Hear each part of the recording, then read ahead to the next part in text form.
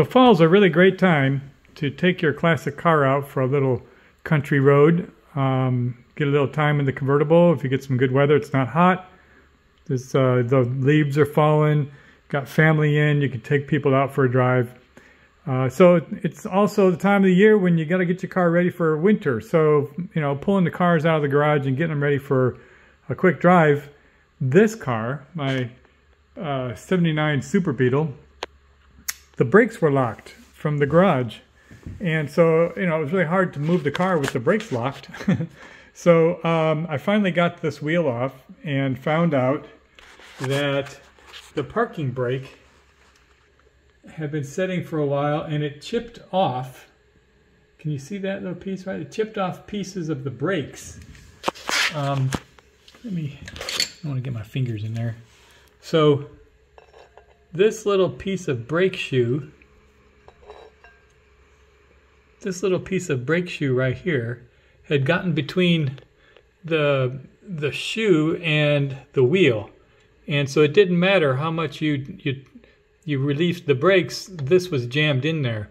Um, so what I'm going to go over today is uh, how to change the, uh, the, drum brakes on a 1977 um, Volkswagen Beetle. It's not that difficult. It does take some special tools. Uh, so uh, let's go ahead and get started. All right, so let's go ahead and uh, change the shoes on this thing. First thing I always like to do um, is take a picture. Uh, I put it together right once. I'm going to be able to put it back together and know where the springs go the second time. But usually when things get taken apart, they get put in a pile and then you can't remember how to put them back together. So first thing I do is take a picture. Alright, so next thing is you need to manipulate these little springs. So these have a little push button, little dealie that's like a post that um, comes through from the back. So if you put your finger back here, you can feel the head where that's holding, and then you just take a, a pair of pliers and you grab the outside of this um, uh, plate around the, around here, and you give it a 90 degree turn, and you'll see there's a slot that once you give it a 90 degree turn, that slot will will fall in, and then you can pull those off. Let me show you how that works. All right, so put your, you put your finger in the back to hold this little post so that it won't fall, it'll go through. And you grab the outside, grab the outside of that little plate, and you push it in. You give it a 90 degree turn, and off it comes. Just like that. Do the same thing on both sides. Now you don't want to lose these things, so go ahead and push them back like that. Same thing on the other side. Oops. Just give that a 90 degree turn.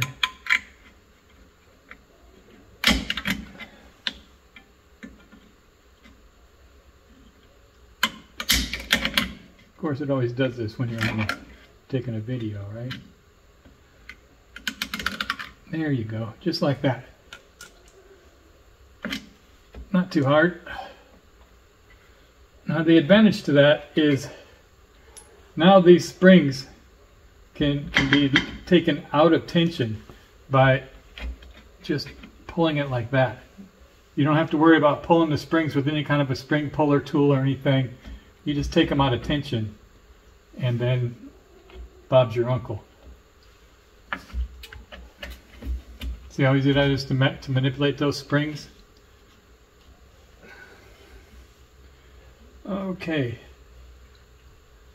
You want to check those to make sure that they don't have too much wear, but they're a whole lot easier to deal with when they're not in tension. We're going to clean those up too. All right, now on the Volkswagen, the shoes have a little retaining clip for the emergency brake. So this this little this little lever it has a little retaining clip right here. And you can take a, a screwdriver and um, put it in the slot and then give it a turn, but you have to keep it from spinning. So I'm going to go ahead and do that. Um, give me two seconds. All right, so here you see I got it all disassembled.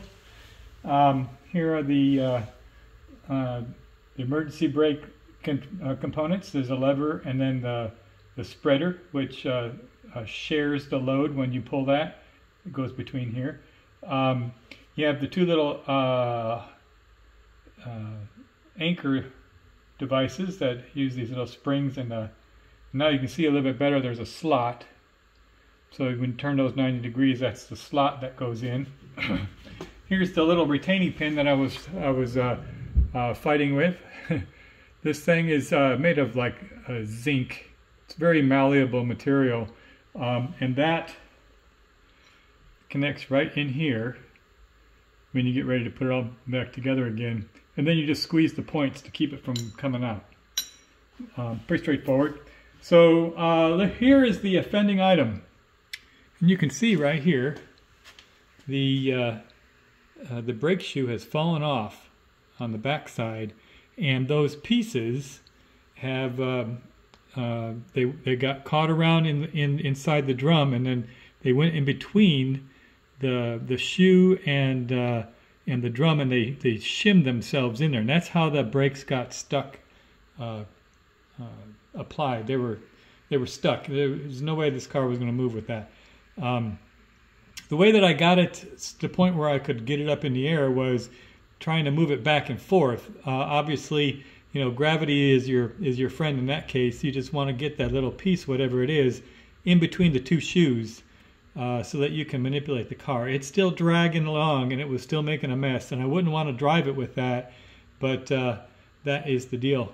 Um, so we're going to go ahead and replace these and uh, and the, the, first thing to do when you replace them, uh, aside from buying new ones, is to clean it all up. You can see with uh, um, with the drum brakes, unlike disc brakes, the drums become a basket. Here's the uh, the two pieces that broke off of that brake shoe.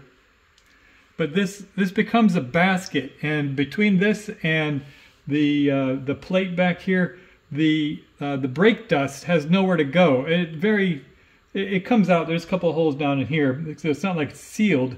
But uh, with um, disc brakes, uh, your your wheels get really dirty with uh, the the brake dust. In this case, the majority of the brake dust stays inside this, this compartment. So it's a real wreck. There's a lot of brake dust in here. So the first thing that we're going to do is we're going to get some brake clean. We're going to spray all this out. That's what I got the drip pan for here. And we're going to get all that brake dust down. It's a lot better to do it with brake clean than to blow it away with an air compressor because brake dust is a carcinogen. Uh, you don't want to breathe that stuff in. Um, and it's it's really harmful for you. So uh, that's that's how we're going to manage this. We're going to spray it off and get it wet with uh, Brake Clean. Brake Clean is a really great product. It uh, it evaporates very quickly. It's made for uh, for you know cleaning brakes. It's uh, uh, it, it once once it's clean, it dries really fast and uh, it'll it'll remove you know all the the brake and grease and, and, oil and everything that's that's in there uh, and it doesn't leave a residue, unlike uh, if you were to use like WD or some other kind of a light oil, the oil would be detrimental. You wouldn't want oil to get on any of the surfaces. Um, so I'm going to go ahead and start cleaning this up and then we'll get ready to reassemble it. All right, there we go, all nice and cleaned up.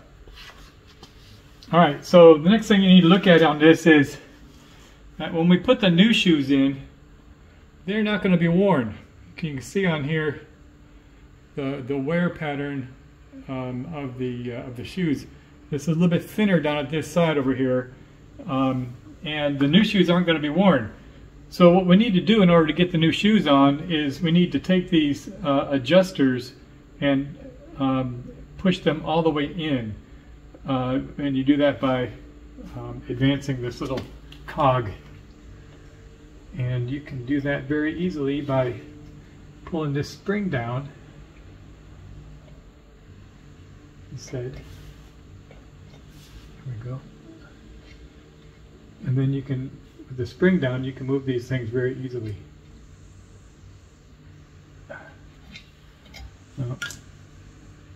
or you can just take them apart. Anyway, you want to uh, You want to you want to push these all the way down to the to the so that they're flat all the way. These are a little need a little attention. Um, I wouldn't want to call them rusted, but they're they're not free freewheeling. So I'm going to give these a little attention. We'll get them um, all the way down so that we can have enough room to put the new shoes in.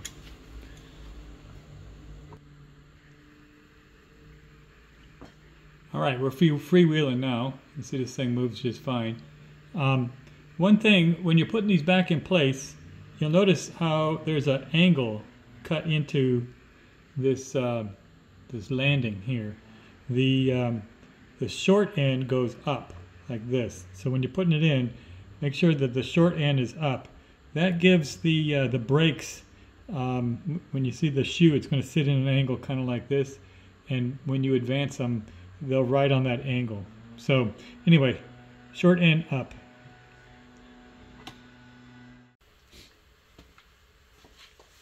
All right, so now we're back to uh, assembly.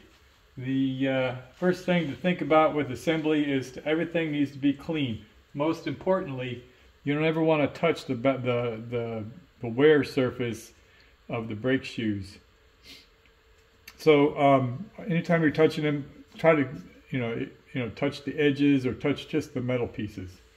Uh, so I referred back to the picture that I uh, that I took at the beginning of the project, and uh, I've laid out the the components. The first thing that needs to go back on is this uh, this little lever, and it will go right into this little hole right up in here.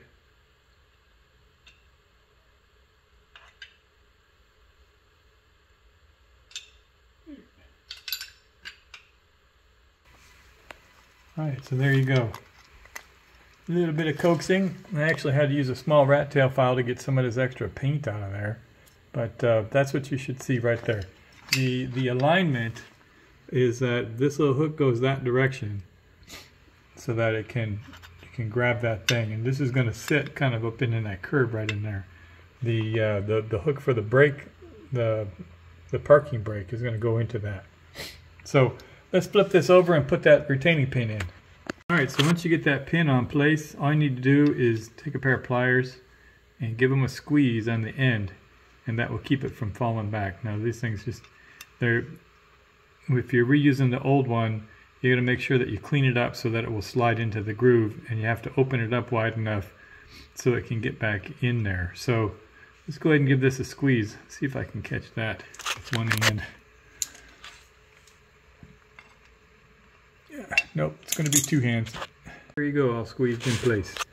That'll keep that in place. And uh, the pin should be free freewheeling. See, the little lever is going to lever fine. That lever is going to be yanking on this little bar. It's going to go across right here. You see how that goes? So let's go ahead and put that bar in place. All right, so this bar has uh, two two different sides. Obviously, there's one side that goes into the single side, uh, into the um, uh, the single brake shoe and the other one goes into the side that has both the brake shoe and this lever. Um, so you just have to slide that baby in there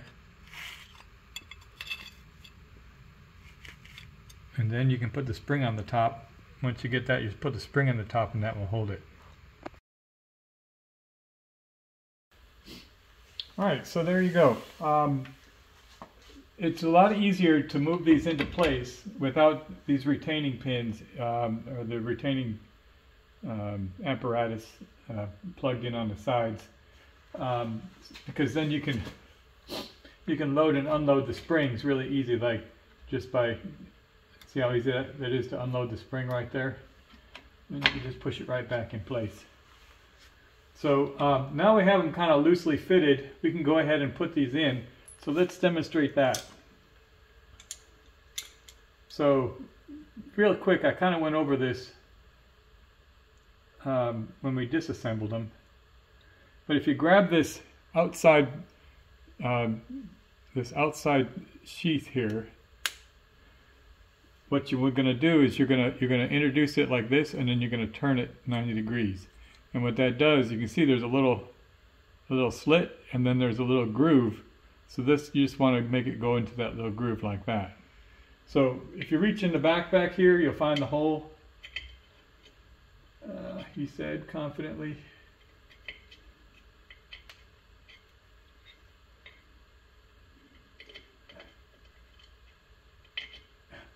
The hole.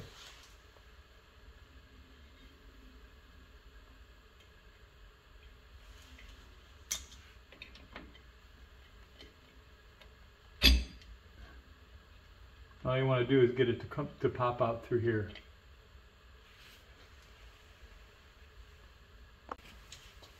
All right, so you reach through and you put you want to poke it through the back so that it's going through there. You kind of set this where you want it to be. Put the spring on like that. And when you when you set it, you want to know you want to know which way it's facing so that you can set the uh, the retainer in the right position.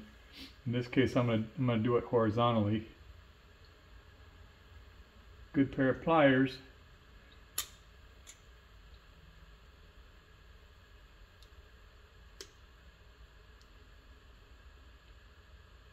It well well balanced. And should be able to just slide that baby in there. Give it a quick turn.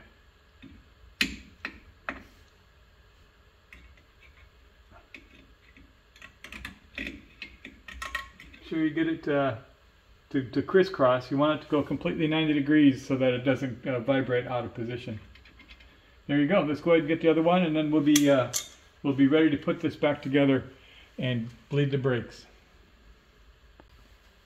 All right, last little thing before we put this brake drum on. The, uh, the brake drum, you can see on there the, the, the wear surface, um, it has no grooves. Uh, this this is uh, um, this car gets parked a lot, and what happened to make the brake shoe break? I don't know if you can see.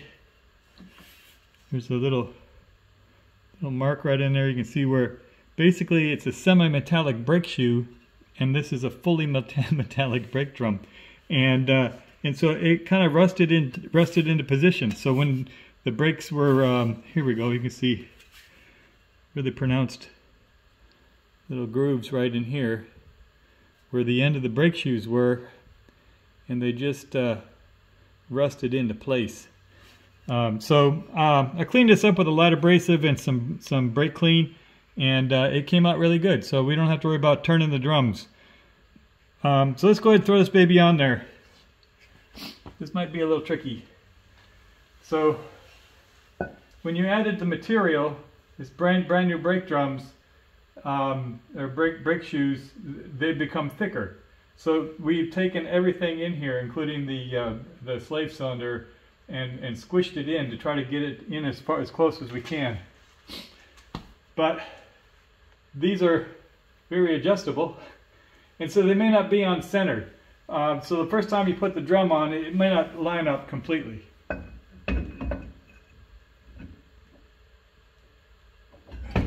Well, or it might just go straight on, no problems.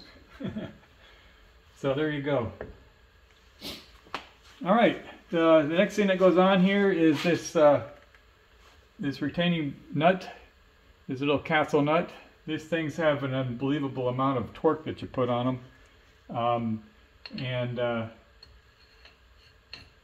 the trick with that is get them tight and then and then tighten them to make the castle match the hole. Um, you may want to, before you get too far, take a note as to where the hole is so you know where to look for it. This is going to go straight down. Um, so uh, let's go ahead and get this thing in there.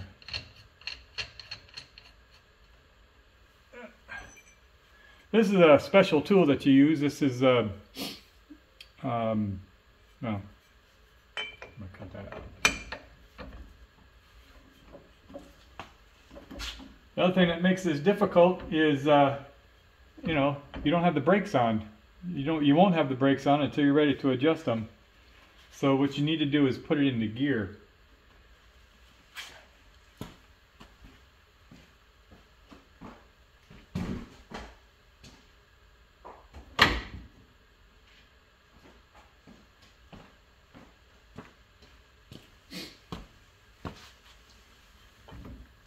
All right.